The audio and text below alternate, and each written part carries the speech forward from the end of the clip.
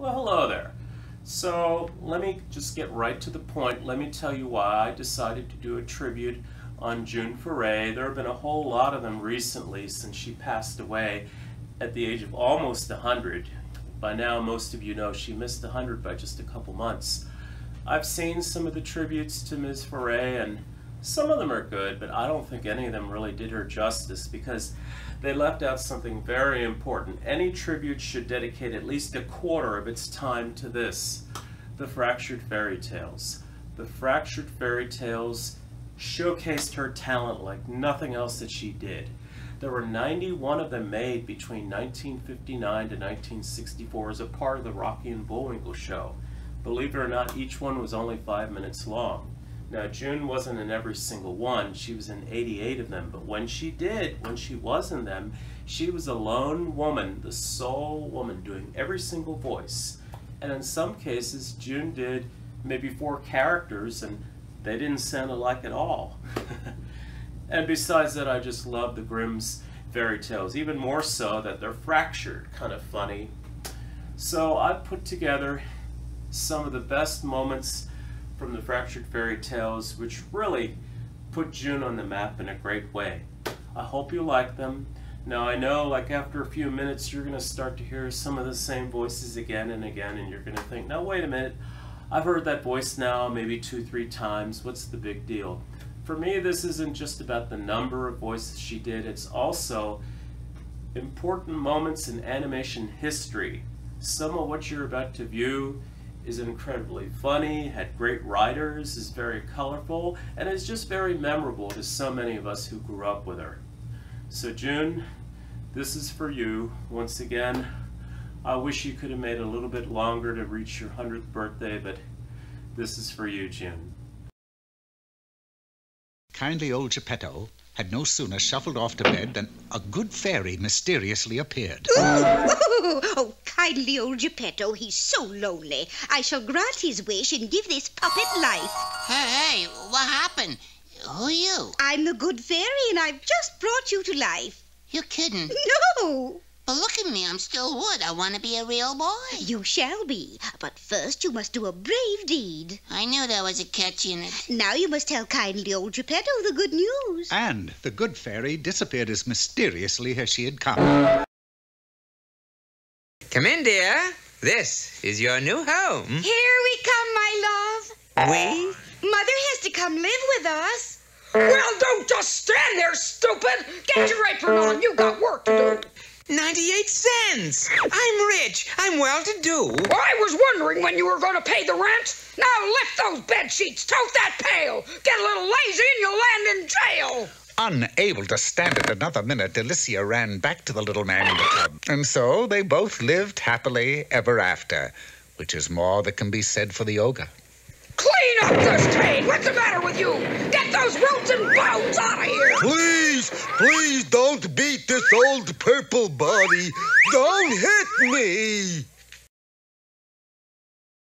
Your time is up. You're right. Every second counts. Yeah, it does. You've got to get these dispatches to the front. You're the only one with a horse. Carry on. Trust me, Colonel.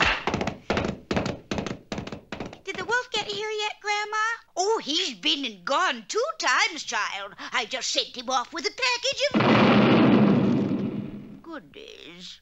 Well, I guess he won't bother us anymore, and... Uh, you know, I've decided to quit Riding Hoods Anonymous.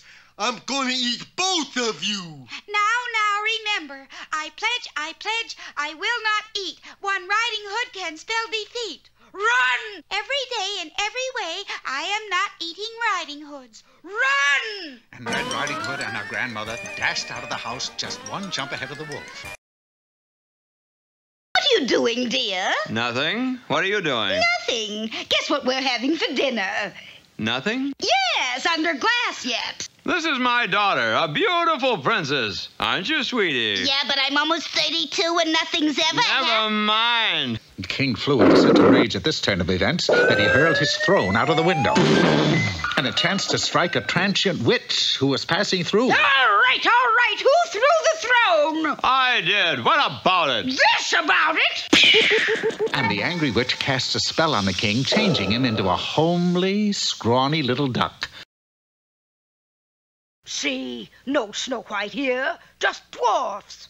Oh, will you look at that poor woman? A B1 deficiency. Now, how could you ever hope to be the fairest with improper diet? Improper diet. No, not meats. No yogurt. No wheat germ. But I have nothing left to pay for anything.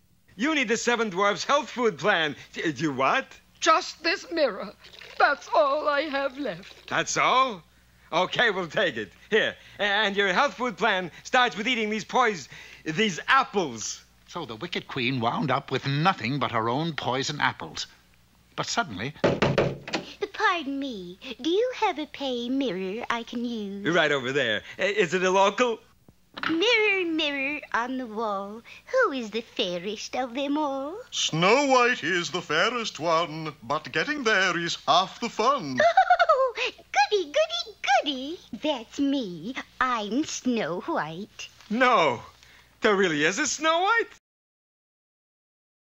suddenly, Hiya, sweetie, I'm back. And was that ever a ride? Well, you can have the whole thing back now, Toots. Sleeping Beauty Land is a flop. Now, wait a minute. She's been asleep for 20 years, right? Right. Maybe people would pay money to talk to somebody who's been asleep for 20 years. You mean Yes, we just wake her up. we'll make a fortune? Go ahead and do it. Who, me?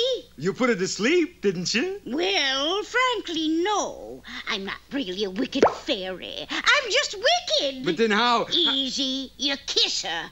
You're a prince, aren't you? Well, not exactly. I never joined the union. I really make my living beating pigskins. You mean Yes, I'm a hog flogger. but just then a remarkable thing happened. Sleeping Beauty's eyes opened, and she sat up. Don't worry, kids. I wasn't really asleep. Then why the big 20 year act? I just wanted to see if I could make it in showbiz.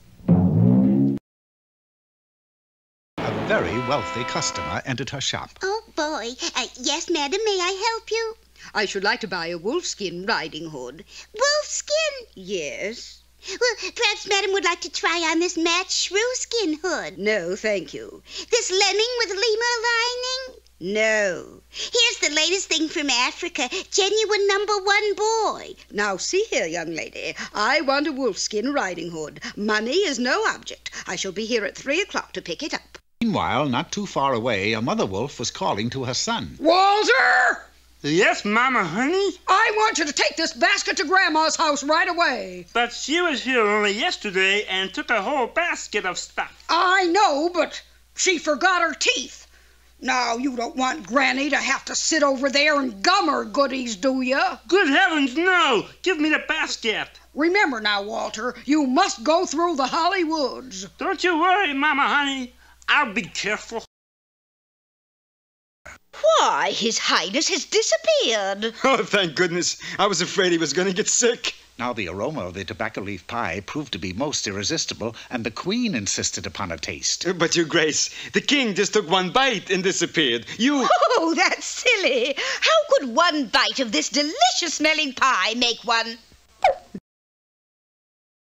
Well, anyway, now we can go on the castle and get the princess to be my queen. No, not quite yet. First, you must do away with the wicked witch that guards her. Problems, problems. Why so many problems? It's the breaks, boy. Beautiful princesses just don't come easy in these fairy tales. Yeah, I know. Well, okay. What's the gimmick with the wicked witch? I'll give you a magic word that'll make her disappear. And that is? Thundervogel. Wouldn't you know it? Me with a lousy memory. So, armed with the magic word, the king ran into the castle and. Ha ha! Now, you wicked witch. Hold it. I'm the beautiful princess. That's the wicked witch over there. Oh, yeah. Sorry. Ha ha! Now, you wicked witch. So, a handsome king who dares to enter my castle, eh? Well, just for that, I'll turn you into a toad. Fisherman? What's the matter, you catch your fins in the net? No, I've come to repay your kindness. Oh, that's all right. I promise to grant you any wish you may ask of me. Well, I sure do wish this net was mended. I'll do more than that. Hey! And suddenly, the fisherman was holding a beautiful brand new net. It, it's true. Oh, wait till I tell Honey Bun. That night, the fisherman told his wife all that had happened. Why, I can hardly believe it. Say, Turtle Dove, why don't you ask me something? Oh, I don't know. Go on. Well, I could use a new apron. He tried being a lover. My darling, ask anything of me, and it's yours. Good. Can I have your father's autograph? And in a few moments, Prince Fletcher and his rider stood before a little hut in the woods. Winona Witch, magic spells, and peanut butter cookies. That's right, dearie. I put in a sideline. Well, Winona, we're here to do business. Good. How many boxes? Boxes. We need a magic spell. Oh. Once upon a time, in a large forest, there lived a woodchopper, his wife, and their two children, Hansel and Gretel. It was a beautiful forest full of trees, flowers, butterflies, and streams. Matter of fact, there was just one thing missing. Food! I must have food! Food? Food isn't everything, dear. No, but it's something. But we have the trees, the flowers, the butterflies, the streams. What more could a body want? A square meal, that's what. And what good are logs? You can't eat 'em. Who says? Mmm, yummy. Anyone for roast leg of log? I think we better split and get some food, Hansel. Yeah, looks like Mom's a little kooky. Kooky? I wish I had a kooky. Come in. Seems I can hardly keep the little beggars in stock these days. Excuse me, are you Snow White? Right? How many do you want? How many what? Dwarfs, of course. Let's see. 27 to the North Pole, at least seven. Seven dwarfs is all I have left. I don't want any dwarfs. Well, we discontinued our giant line, you know. Too much overhead. No. I just brought you a little gift from the Witch Pack Company. Apples. My, they are tasty. Yes, eat one and you'll just die for more. well, if you ship prepaid, I'll take. But mothers-in-law are human. Oh, yeah? You fat pompous little worm! King or no king, you're a nincompoop! And let me tell you... Just then, a strange little man appeared before her. Little lady, I can make you famous overnight. Who are you? I am what is known as a PR man. PR man? Public relations, my dear. Public relations. It is my business to glamorize the unglamorous. In my hands, the pedestrian becomes splendorous, the prosaic resplendent. What do you do, baby? Oh, I spin straw. That's it. You spin straw. So? Don't interrupt. It's coming. What? The idea, the spark. I got it. I got it. You spin straw into gold. Yeah, but I can't spin Doesn't straw. matter. I'll do the thinking. Now I'll just contact the trades. But wait. Just leave it to me, please. For up ahead, a dark figure was bent over pulling weeds, and pinned on the back of that dark figure was a sign that said, Kick me and get a surprise. Alden couldn't resist. He booted. Ow!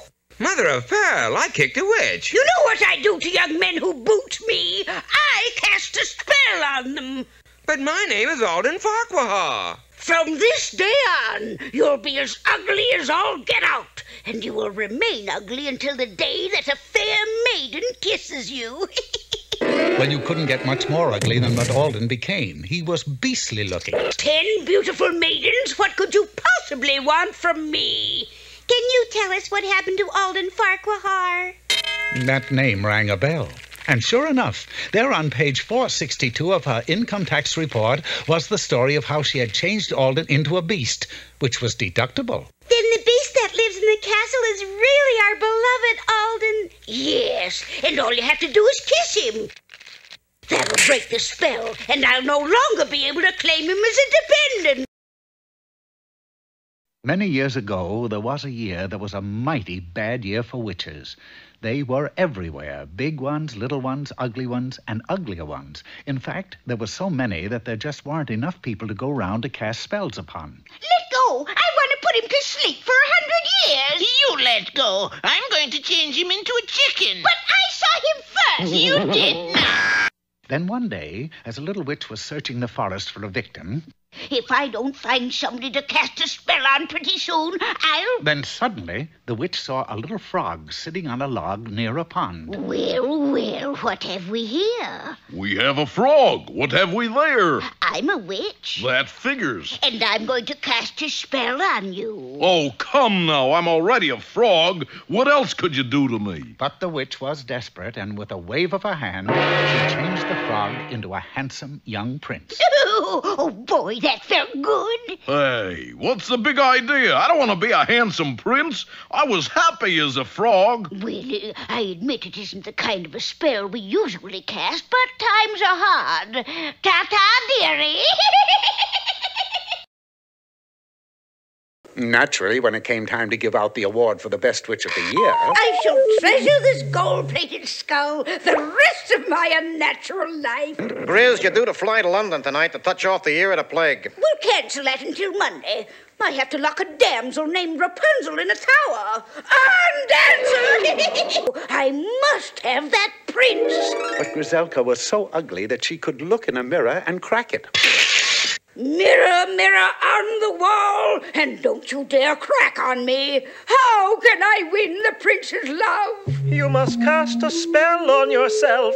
And now I must go before I crack up. Of course, the mirror is right. If I change myself into a beautiful princess, the prince will fall in love with me. Through the mouth and through the gums. Look out, stomach! Here it comes! The age-old incantation never failed. Where once there was a witch, stood an enchanting princess.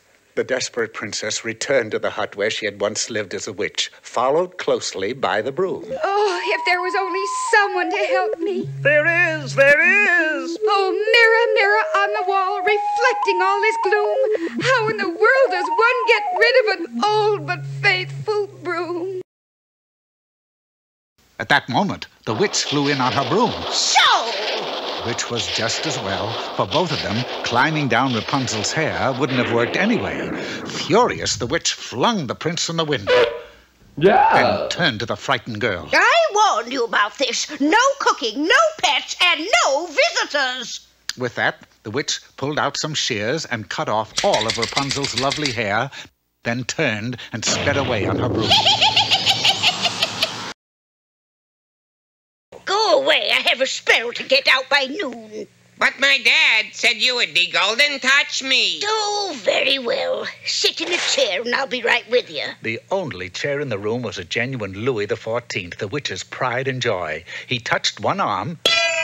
The chair was transformed into gold, and because of its sudden gaining of weight, it lunged through the floor. Why, you little... Oh, I tell you, an angry witch is the worst kind, so the sun wasted no time in beating a hasty retreat. If I ever lay my hands on you... I like you too. Will you be my wife and live with me in my kingdom? Yes, I will gladly go with you because actually there doesn't seem to be any future here. I mean, Rapunzel let down your hair, let up your hair. Gives me a headache, I'll tell you. Then it's settled. We'll be married right away. Just let down your hair and we'll be off. Aren't you forgetting something? No. What? Me! If I let down my hair, how am I to get down? Ah, that's right. Well, I think you'd better go now. The witch will soon return. Oh, don't worry, Rapunzel. I- I'll think of something. Whoops! Oh, you've come to fetch your lady love. Well, you goofed. You'll never see her again. oh, you wicked child. I thought I'd separated you from the world, yet you deceived me just for that. Well, now you've done it. We're both stuck here now. Aren't you forgetting?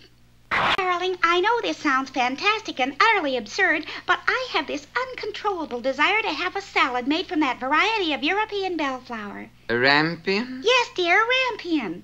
Well, here we go again.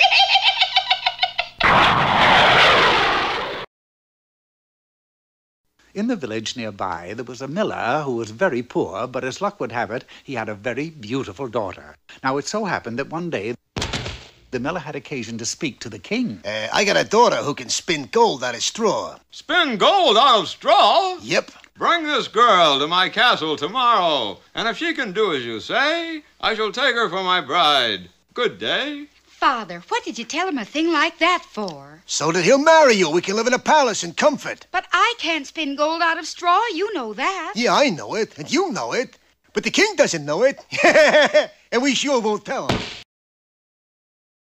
In fact, windmills are Papa Clinker's specialty. He repairs them. But not very well. Papa, the windmill just fell down. Is it still turning around? Yeah, but it's turning around on the ground. Who cares so long as it's still turning? Brunhilda! Yeah, Mama? Go wash your hands. Brunhilde promptly dunked her brother in the washtub, and that's how Hans Clinker got his name. That night, the painter told his wife of his plan to become a shoemaker. His wife said, Shoemakers are not made, they are born. Why don't you forget it and go back to something sensible like like painting? Nine. Even ten. Anybody can paint. I wanted you to be a prince so we could live happily ever after. Me too. But I do want to thank you for all your trouble.